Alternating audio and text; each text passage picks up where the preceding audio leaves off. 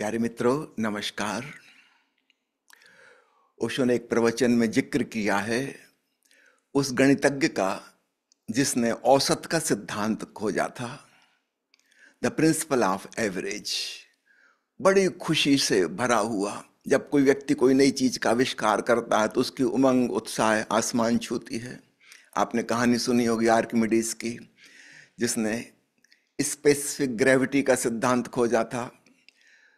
जब वो बाथरूम में स्नान कर रहा था अपने बाथ टब में, तब उसको वह सूझ इंट्यूशन आई थी। वो इतना उत्साह से भर गया कि यूरे का यूरे का चिल्लाता हुआ सड़कों पर भागा। लोगों का हुआ क्या? यूरे का मतलब है कि मिल गया मिल गया। उसने कहा कि वो सिद्धांत मिल गया जिसको मैं खोज रहा था। लोगों का लेकिन कपड़े क्यों नहीं पहने आपने? तब उसे ख्याल आया कि अरे वो बाथरूम से सीधा नग्न ही बाहर आ गया, होश ही नहीं रहा, इतनी खुशी इतनी खुशी थी। ठीक ऐसे ये एवरेज का सिद्धांत खोजने वाले गणितज्ञ, उसने अपनी पत्नी से कहा, बच्चों से कहा कि चलो, आज मैंने एक अद्भुत ईजाद की है, हम सब उत्सव मनाते हैं, नदी किनारे चलते हैं, पिकनिक मनाते हैं। तो अपने पूरे परिवार को लेकर वो गया। वहाँ जब नदी को क्रॉस करना था तो उसका रुको, मैं गणित के सिद्धांत से देखता हूँ। नदी की गहराई कितनी है और हमार, हम सबके पूरे परिवार की ऊंचाई कितनी है। एवरेज उसने निकाला, नदी को पाँच छह जगह पर उसने देखा कितनी कितनी गहरी है, डंडे से नापा, वहाँ रेत के मैदान पर उसने अपनी उंगली से गुणा भाग किया लिख के कि एवरेज गहराई कितनी है नदी की। और फिर अपने बच्चों को, पत्नी को, स्वयं को सबकी ऊंचाई निकाली और उसका एवरेज निकाला।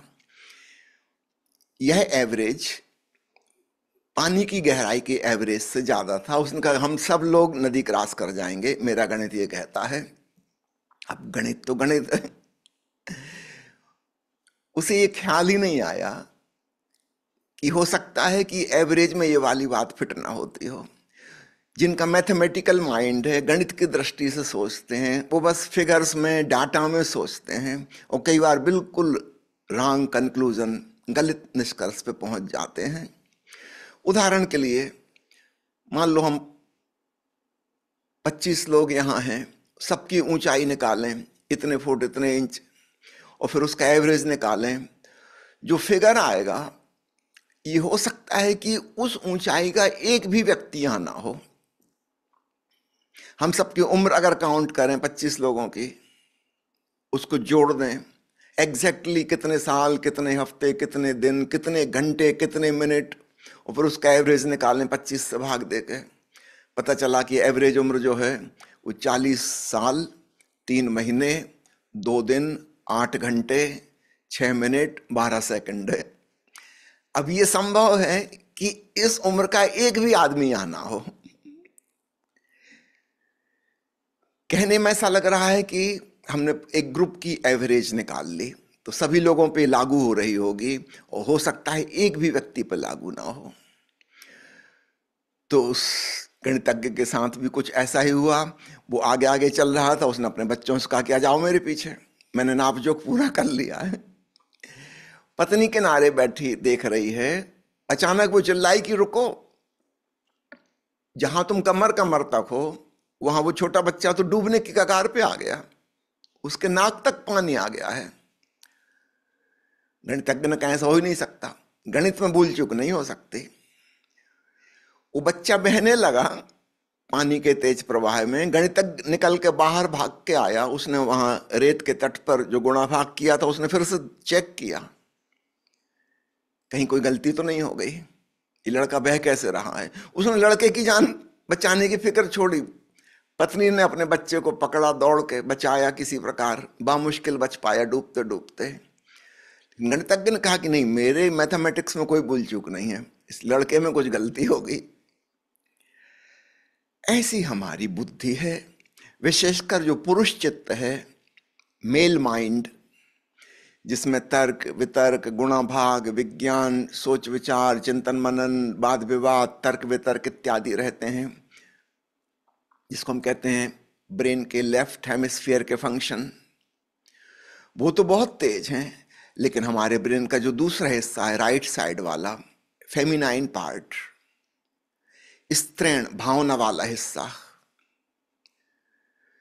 जहाँ हृदय प्रमुख है, दिल की भावनाएँ प्रमुख हैं, वहाँ प्रेम, स्नेह, मैत्री, भाईचारा, शांति, प्रीति, ये ज़्यादा प्रमुख हैं। वहाँ तर्क वितर्क नहीं है गुणाभाग नहीं है। ओशो कहते हैं, यह एवरेज वाले कहानी सुनाकर कि आज तक जो संस्कृति और सभ्यता विकसित हुई है, सारी पृथ्वी पर, वो पुरुषों के द्वारा विकसित हुई है। आधे दिमाग का उपयोग उसमें किया गया है, शेष आधे को छोड़ ही दिया गया है। लेफ़्ट ब्रेन जो है वो चिंतन मनन वाला गुणाभाग वाला, उससे हमारा दाहिना हाथ जुड़ा हुआ है। और इसलिए हम दाहिने हाथ को राइट हैंड कहते हैं। ये सही हाथ है। दूसरा लेफ़्ट वाला गलत है। इसका मतलब उसको हम कहते हैं वामपंथी लेफ्टिस्ट निंदात्मक दृष्टि से, आलोचनात्मक दृष्टि से। परमात्मा ने स्त्री और पुरुष दोनों बनाए हैं। स्त्रीण चित्त पुरुष चित्त फेमिनाइन, मेस्कुलाइन चिंतन मनन भावना, दोनों को बराबर बनाया है। लेकिन संस्कृति के विकास में केवल गणित, केवल तर्क वितर्क, यही काम आया है। ऐसा समझें कि हमारी संस्कृति अधूरी संस्कृति है, पुरुषों की संस्कृति है, और इसका जो अंतिम दुष्परिणाम है वो है लड़ाई, झगड़ा, दंगा, फसाद, मार, काट, युद्ध, महायुद्ध विश्व युद्ध तर्क वितर्क पर अगर चले, गणित पर चले तो अंत में यही होगा। दूसरे पक्ष को हमने बिल्कुल इग्नोर कर दिया है। उसको मौका ही नहीं दिया, अवसर नहीं दिया, उभरने का, पनपने का। और चूँकि वह कोमल है, नाजुक है वो आसानी से दब जाता है, सब प्रेस कर दिया जाता है। हमने अपने ही भीतर दिल और दिमाग में दिमाग को बहुत महत्व दे दिया, दिल को बिल्कुल हमने पीछे छोड़ दिया। भावनाओं की नहीं, हम नहीं सुनते। तर्क की सुनते हैं। लेकिन याद रखना, तुम तर्क चलाओ, चाहे तलवार चलाओ, दोनों में एक सामंजस्य है। और तर्क धीरे धीरे तलवार पे पहुँच जाएगा। अगर आज तुम किसी से बहस कर रहे हो मत मतांतर हो गया है। अगर तुमने अपना रास्ता नहीं बदला, इसी प्रणाली पर चलते चले गए तो जल्दी ही तलवारें निकल आएँगी, बंदूकें निकल आएँगी। केस मुकदमे चलने लगेंगे, लाठियाँ सिर खोपड़ी खुल दी जाएँगे। क्योंकि तर्क से कुछ तय होता नहीं अंत में। तलवारें चलानी पड़ेंगी, गुंडागर्दी करनी पड़ेगी, उसके बिना कुछ सिद्ध नहीं होता। मेरे एक मित्र वकील हैं, वो बता रहे थे, आज हमारे देश में कोई दस करोड़ मुकदमे चल रहे हैं। दस करोड़। यदि एक एक परिवार में पाँच छह लोग रहते हैं और ये केस मुकदमे से प्रभावित होते हैं तो समझो कि साठ, पचास, साठ करोड़ लोग लगभग आधी आबादी न्याय के लिए तरस रही है। कब मिलेगा ये न्याय? ज़मीन जायदाद के मुकदमे कभी अंत नहीं आने वाला। बीस बीस, पच्चीस पच्चीस साल, पचास पचास साल हो गए मुकदमे चलते चलते। जिन्होंने केस किया था, वो मर जाते हैं, उनकी अगली पीढ़ी लड़ने लगती है। वो वकील, वो न्यायाधीश, वो मर जाते हैं। कोई और आ जाते हैं, उनकी जगह वो केस देखने लगते हैं। कोर्ट से फैसला मिलना बहुत मुश्किल है, वहाँ तो डेट पर डेट मिलती जाएँगी। फैसला या तो गुंडागर्दी से होगा, मारकाट से होगा, या समझौता धन पैसे के लेन देन से होगा। न्यायालय कोई फैसला नहीं कर पाती, चार लोग खड़े हैं, चारों के पास वसीयत है परदादा की। अब परदादा कब के जा चुके दुनिया से? कैसे पता लगाओगे किसकी सही, किसकी गलत? तो न्यायाधीश अगली डेट दे देता है। उसका कुल सोच है ये कि मैं यहाँ से ट्रांसफ़र हो जाऊँगा दो तीन साल के अंदर, फिर कोई आएगा, वो देखेगा। पोस्टपोन करता जाता करता जाता करता जाता। फिर नया जज आ जाता है। वह भी वही सोचता है कि मैं के झंझट में मैं क्यों पढ़ूं पोस्टपोन करता जाता है। उसका ट्रांसफ़र हो जाता है। तर्क से कुछ तय नहीं होता। अंत में हिंसा से ही तय होगा।